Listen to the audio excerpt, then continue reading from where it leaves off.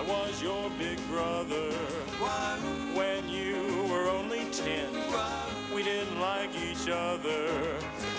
When you were thirteen, you were my funny Valentine. But now you've grown up, the future is sewn up. From now on, you're gonna be mine. So happy birthday, sweet 16. Happy birthday, sweet 16.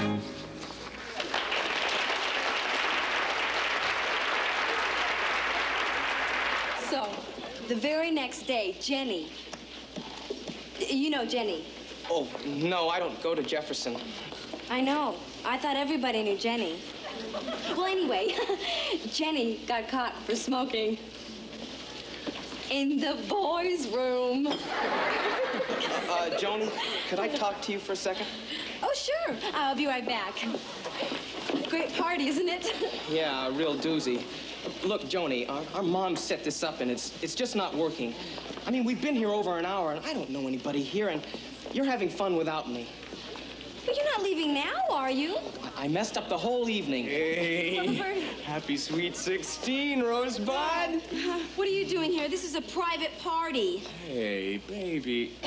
I decided to give you another chance. Uh, I'm warning you, Tip. I bite. Oh. Hey, Bucko. You heard her. It's a private party. Uh, I can handle it, Rich. I think the lady wants you to leave her alone. Yeah, beat it, Junior. You don't want to mess with Tip Corrigan, huh? Tip Corrigan. The Tip Corrigan. I didn't know. Gee, could I shake your hand? Sure, kid.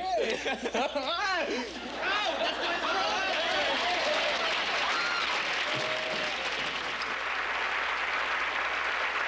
don't come back until you learn some manners.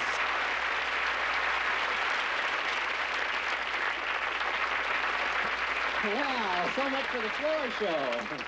And now for tonight's main attraction, our very own Sweet 16 girl. Excuse me. Sweet 16 young lady will share this dance with her favorite fella. Joanie. Please stay. Uh, the next dance is for you, okay?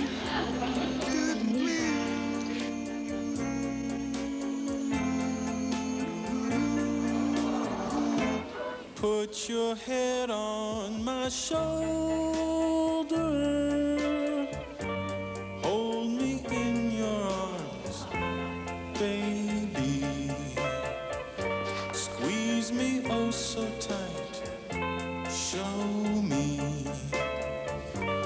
Show me that you love me too. Show